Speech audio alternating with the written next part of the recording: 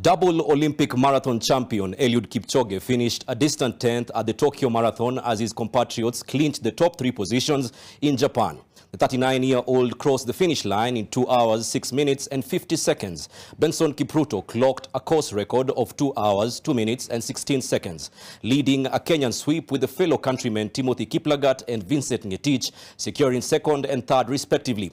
Kiplagat stopped the timer at 2 hours, 2, 2 minutes and 55 seconds, with Ngetich clocking 2 hours, 4 minutes and 18 seconds. Ethiopia's Sutume Asefa won the women's race with former champion Rosemary Wanjiru finishing second.